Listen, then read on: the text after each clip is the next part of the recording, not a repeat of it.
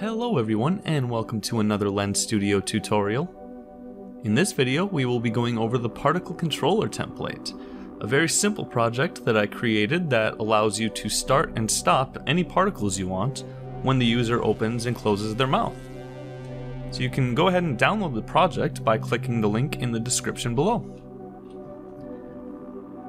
So in this example project, I attached the default Lens Studio fountain particles to the user's eyes, so that it looks like they're crying when they open their mouth. I also used the behavior script to enable and disable some other objects as well. So let's build this project from scratch and you can see how it works. First, what we're going to do is go into the particles template and find one of the pre-made particle resources that Lens Studio provides.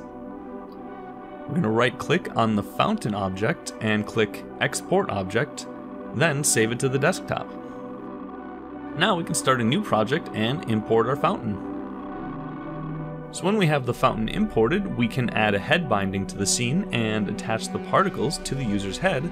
Then we can adjust the size and the location to make it look like it's coming out of their eyes. And then when I have it looking how I want, I'll just duplicate it and move it over to the other eye. So right now you'll see that the particles are just playing constantly, and we need them to start and stop when the user opens their mouth. So we're going to need to use the particle controller script to be able to start and stop them. So once we have the script imported and added into the scene, we will need to add all the particle materials from the resources panel into the script and adjust the intensity. We will also need to make sure that we go into every particle material that we add into the script and make sure that external time is checked. This will allow the script to do its thing and start and stop the particles. Now the intensity is going to change how fast or slow the particles are moving. So now we can see the particles are starting and stopping when the user opens and closes their mouth. So we can also add some other effects here and use the behavior script to enable and disable them.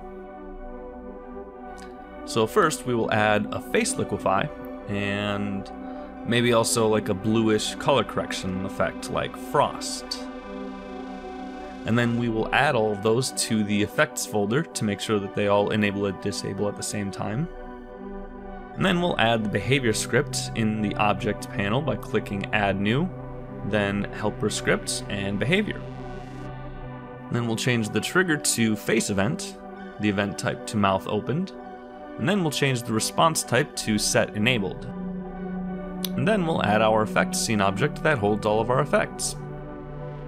And then we can just copy this script component and paste it, change the event to mouth closed and the response to disable. Now we have a nice particle effect that the user can control themselves, allowing them to make their own custom experiences. So I hope you enjoyed this template, and if you have any questions, feel free to leave a comment below, and as always, please share your creations with me. I would love to check them out. So happy creating, everyone!